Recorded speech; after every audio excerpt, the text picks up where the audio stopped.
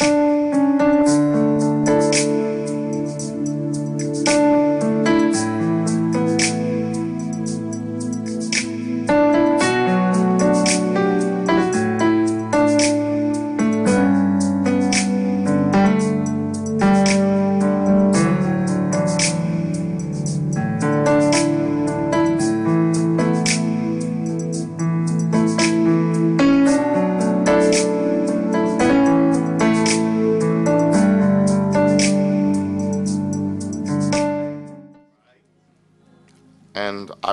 you to be in study of the entire chapter 3 of Colossians. But with the message that I do have, it really has emphasis on 1 through 17. And that's where I really want us to look. And because it's so extensive and it's such a long reading, I'm really going to do just verses 1 through 11. And I, if God permits, and if it be His will, I'll deal with 12 through 17. But let me read verses 1 through 1 through 11. If ye then be risen with Christ, set those things which are above Seek those things which are above, where Christ sitteth on the right hand of God. Set your affections on things above, not on things of the earth. For ye are dead, and your life is hidden with Christ in God. When Christ, who is our life, shall appear, then shall ye also appear with him in glory. Mortify therefore your members which are upon the earth fornication, uncleanness, inordinate affection, evil desire, and covetousness, which is idolatry. For which things sake the wrath of God cometh on the sons of disobedience. In, the, in thee which ye also once walked, when ye lived in them. But now ye also put off all these, all these, anger, wrath, malice, blasphemy, filthy communications out of your mouth.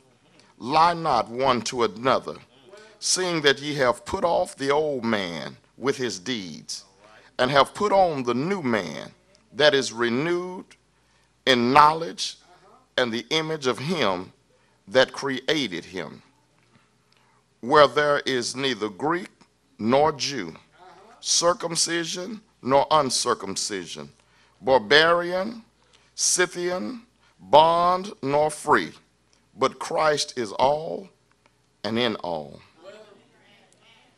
And I want to talk to you about the life choices of a Christian. The life choices of a Christian. As it relates to this day and age, it still remains a fact that the Christian has some choices to make after they become Christians. We all have choices to make when we are born and we receive the ability to know right from wrong. But as Christians, we still have some life choices. Because even though you have secured your salvation, when you believe in the death, burial, and resurrection of Jesus Christ, you still are free to make a choice on how you live in this life. And the Bible is teaching us here now that there are some things that first we have to put off before we are able to put some things on. And it says, if, the, if ye be risen with Christ, seek those things which are above. Letting us know that the life of the Christian, his livelihood, his lifestyle, his personality, his character, comes from the things which are from above. the life in which we live, earthly things or earthly mindsets are opposers of a godly and a heavenly mindset. The mindset of an earthly individual is described here in the text in chapter in verse 2 and and it goes on when it says set your um, set your affections on things above not on things of the earth. It's talking about an earthly mindset and the mindset in which we have the bible has described as idolatry in verse 5 it says we are dealing with fornication uncleanness inordinate affection evil and covetousness, which is idolatry. And when we look at idolatry, this evil and uncovetousness, we have a tendency to look at an idol or an inanimate object in which others may worship. But this idolatry, this evil worship, is also a mindset. When you look at idolatry, it does not have to be anything that you see. It could also be that which you hear and that which you say because it talks about putting off lying and putting off evil communication or corrupt communication. Idol worship is only sin. We can become covetous we can become those that have what we have and not wanting to share it. And that's covetousness and idolatry and idol worship with the mind. And we also do it with our actions. And the reason we have to put these things off is because it is our responsibility to help those that have not accepted Jesus Christ as Lord and Savior. Because really, at that point in life, they have no choice. They are not in just in idolatry or idol worship. They have become idols. Because you are in sin and salvation has not been granted to you. And all those that have rejected our Lord and Savior Jesus Christ have to serve under idolatry. That is their God, and they are their own self made gods. And that's what people in society try to make themselves be now when they say that we don't need God to die for us on the cross. We can live the way we want to live. There is enough in me to where I can live an honorable life without God making me an honorable man. That's idol worship. And really, I'm also talking about for the believer, I'm talking about demonic oppression. Whereas the unbeliever is in demonic possession. And I've got to let you know that they both look the same. And they both have the same effect. When the, when the believer is demonically oppressed, he will never be able to get the, the unsaved saved. When the unbeliever is demonically uh, possessed, he's unable to reach Almighty God for salvation. But it is you as a vessel, as an oracle of the Father, who has to put off these idolatrous things so that you can reach those that are lost. And again, what I'm saying is if you look at society today as a whole, you will realize that we look just like the world when we are demonically oppressed. Uh, we are suffering from a form of idol worship. You have many people, and I was just talking to a lady at the airport on yesterday, and she was saying how she had walked away from church. And the reason she left church was because the people in the church were so judgmental. And they were so harsh on her, and she felt uncomfortable. And it seemed like everything that she wanted to try to do for God, everybody else put it down.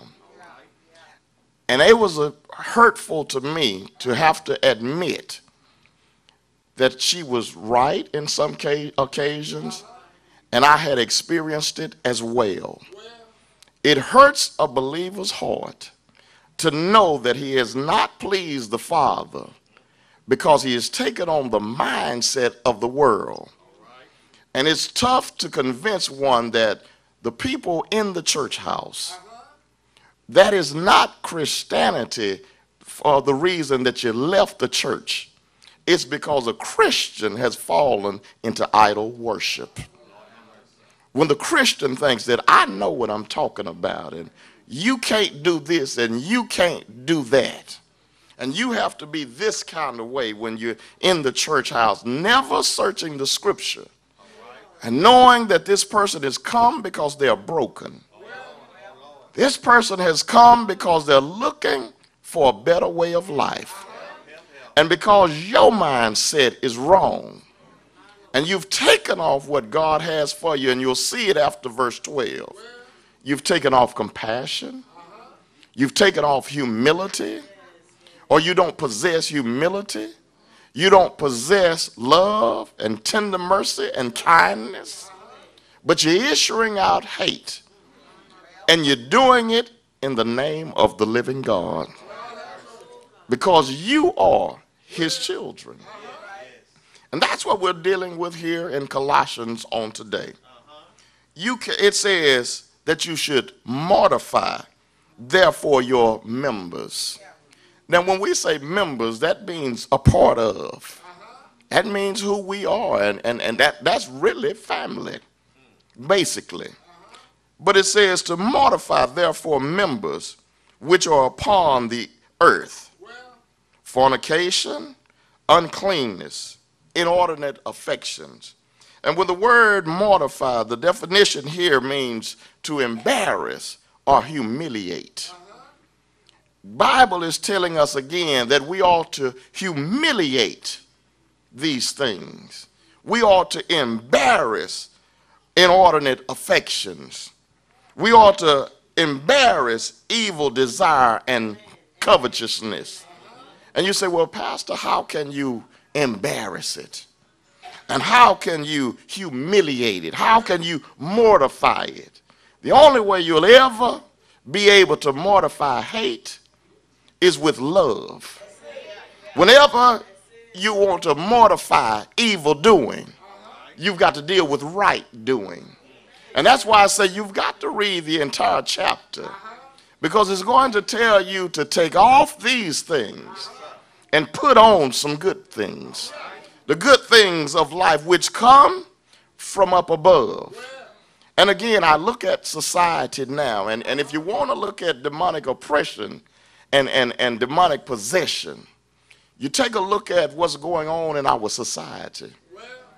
Even in the streets, it seems as though everybody is violent and enraged. And when you come into the church house on the same issues, the children of the living God are divided, upset, and enraged. But let me tell you something, and, and I always use this example because it's a current issue. We're looking at those that are getting upset with police officers, and they're responding by attacking innocent police officers. But then we also look at the police officers. They are attacking innocent civilians. But let's see what's really going on in that situation. The church is saying that the people are just fed up. And, and, and, and that's a normal reaction.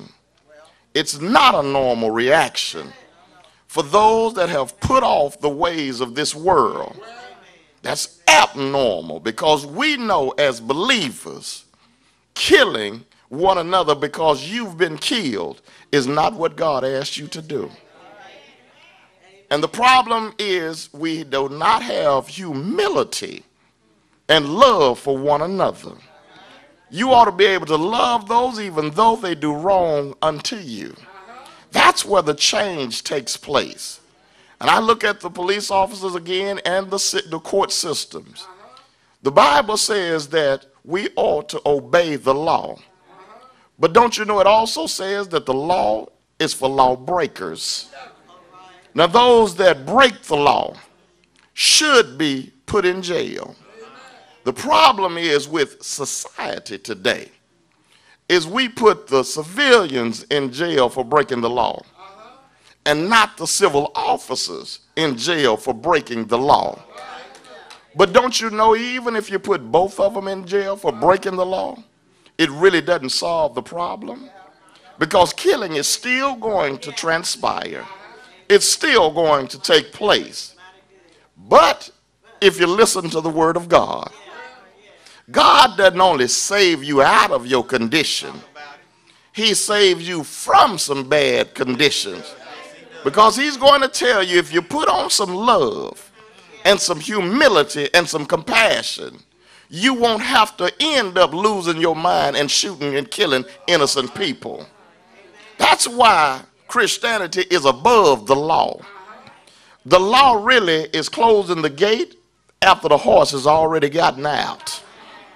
But God is preventive. He's saying, if you abide in me, and if you do the will of the Father, and if you walk in the way that I have instructed you to walk, you won't suffer these things. And even if you suffer them because of some evil doer, you don't re recompense evil for evil. Because our God is a God of faithfulness. He'll watch over us and he'll protect us in the midst of it all. And I've said it, but time and time again, I can walk out of this door and lose my life from a hand of a robber. It could be in a car wreck. It could be any manner of things. We don't choose how we die. And it makes no difference to me. Sorrow not for me because I'm dead and gone. Because I'm going to reap my reward. And it's all because I've taken on the affections from God, which is from above.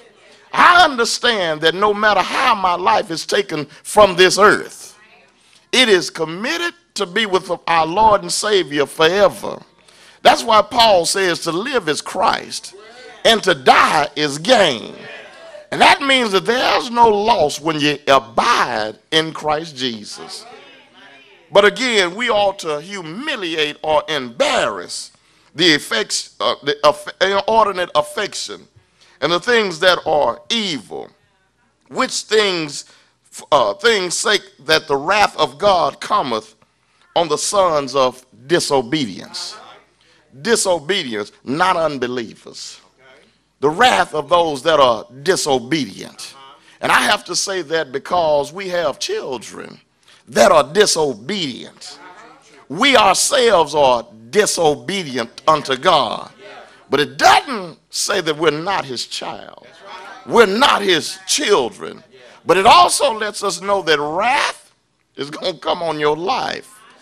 I told you, I can't tell you that God is just a giver of every good thing, but he's a giver of good, every good and every perfect gift. And you know a perfect gift for a disobedient child is chastisement. And he's letting you know now that when you be disobedient, wrath is going to come about in your life. How many of us as believers have believed in the death, burial, and resurrection of Jesus Christ? But for some reason, we just can't get that blessing that we're looking for. And it may be because you are not humbling yourself before the Father. You're not obedient unto Him and, and just joking around. Some people want to be rich and have luxurious things. And because God hadn't given it to you, you trying to get it by the lottery. You trying to get it from the boat. You trying to get it from, from, from Bossier City. Or you headed down to the Choctaw Casino. But don't you know God has it in his hand? And if you're obedient unto him with small things, He'll bless you with so much more. But because we are God's children, He knows us from top to bottom, from the crown of our head down to the bottom of our feet.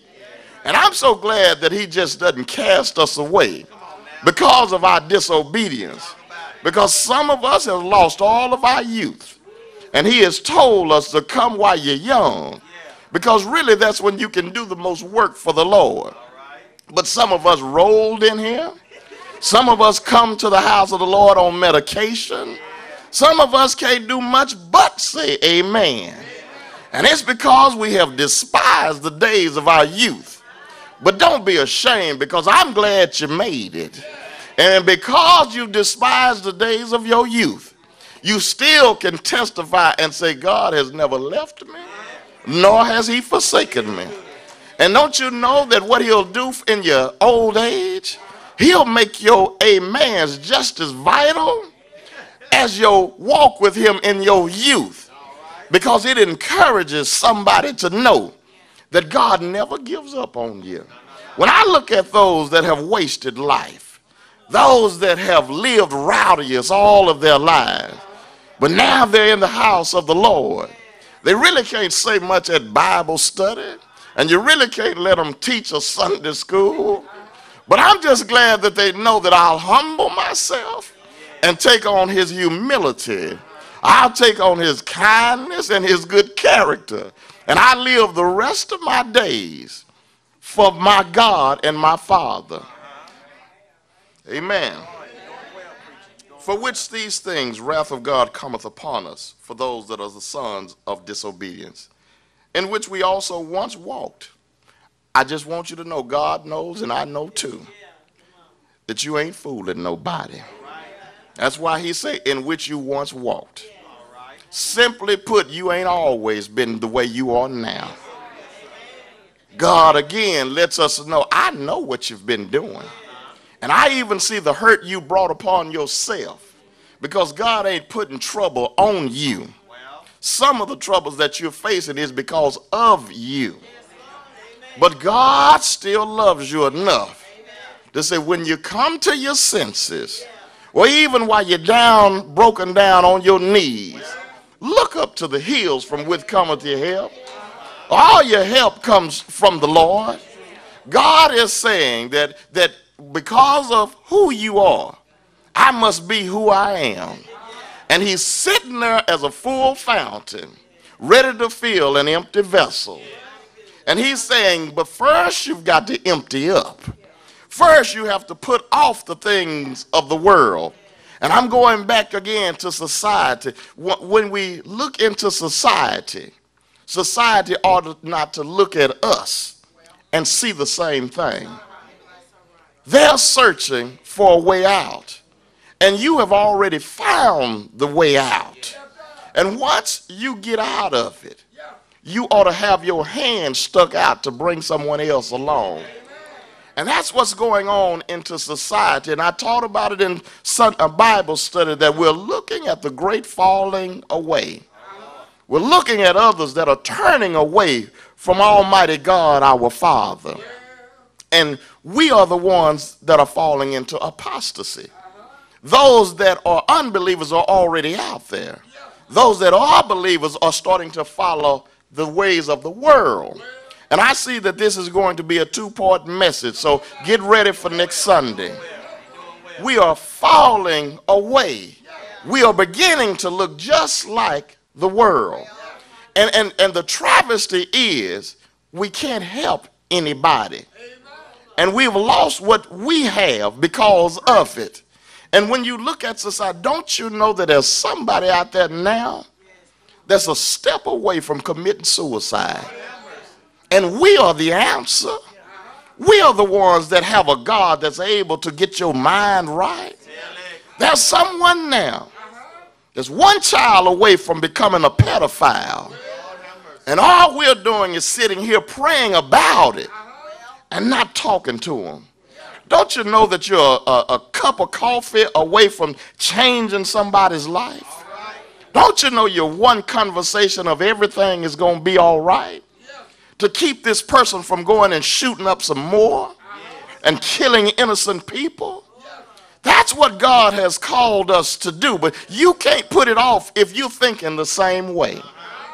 You fed up and you're fed up. And I was looking at the young lady who was, was very disrespectful to the police officers, and I believe she lost her life. Everybody's saying, well, you couldn't expect much more. And, and what do you expect the way she was acting? But nobody had compassion to think about what was going on in her mind. She had children. And she's been watching innocent children killed, just like you and I. And then she was also looking at her skin color, knowing that racism had been a part of her life. You've got to learn to have compassion. Anybody that's not an unbeliever and anyone that's demonically oppressed will lose their mind if they don't get their hands on Jesus. And you've got to have compassion. I'm not saying what she did was right. I know that it was wrong. But to me, it looks just like somebody that has lost their way. And every time you lose your way and lose your mind, the response that you make is always going to be negative. And it's not going to look right to the unbeliever, and it's not going to look right to the believer as well. And I, that's why I say be careful because of demonic oppression and demonic possession. And because we are oppressed, we're saying in our mind that she got what really she deserved. You couldn't expect anything different. But humility and love, compassion, understanding, and wisdom lets us know that we got to sit down and teach them about Jesus. We have to teach them about the delivering hand of God. We have to teach them to put off their mind and set their affections on things above. That's what the scripture is going to tell us here now. Set your affections on things above. Don't let what's going on around you conform you and have you into thinking that you can fix it and you can make things all right. Because as we can see, both are in the error at this time the church and society. And have you noticed nothing has gotten better? And I notice you're getting a little quiet on me now because this isn't normally how I preach, but I'm really trying to drive it home. I want you to know that in order for you to have that enjoyable life, in order to have peace in your life and contentment in your life, it's not by changing what's going on around you, but it's about abiding in Christ Jesus. Because he has let us know that things are going to get worse and earth is going to pass away. And, and really, you can't fix what's already being torn up that God has said is going to be destroyed. And, and we have put our affections on things of the earth. We want a better lifestyle instead of a better life. We want to have earthly possessions never considering what we have in our heavenly possession. We are using our own mind and we're walking in our own might and is causing us destruction. We have gotten away from what God has called us to do. And I know again, I'm driving this pretty hard at you because I want you to go home and sleep on it, but I want you to wake up better. I want us to understand that it is our conversation with those that we don't trust, that we don't know, that we don't personally know. It's our conversation in Christ Jesus that will draw them out of this situation. We have no answer to stop death because death has always been and it always will be. And you can't get to heaven except you die. And, and the, so the message for the believer is get them salvation, get them soul deliverance, and then you can get them some, uh, some physical deliverance. That's what peace is, and that's what joy is. That's some physical deliverance. But that comes after soul deliverance. And then I close with this. What does it take to grant this peace in the life? Or where does it come from? Never forget that it, everything that we have comes from our Lord and Savior Jesus Christ. And the Lord and Savior Jesus Christ is the one who sent his son that he hung, bled, and died for all of us. And for those that have received the death, burial, and resurrection of our Lord and Savior, we are the ones now who've been commissioned to go ye therefore unto all the world, preaching, teaching, and making disciples. We're the ones who's offering a more excellent way. And the more excellent way is Jesus. He is the one who will take care of you in the midst of all these troubles. He is the one who will guide you to Calvary and lead you on home. That's the message that I have for you at this time. And I'm just telling you some of the things that you ought to take off. But just be assured there's some stuff that you got to put on. And I'm going to tell you about those things on next time with me. But you ought to be encouraged and study the word because the things that we put on, really no man can take it away. You've got to drop it and walk away from it. I'm really getting excited. I can go a little longer, but uh, that's all the meat that we can stand today.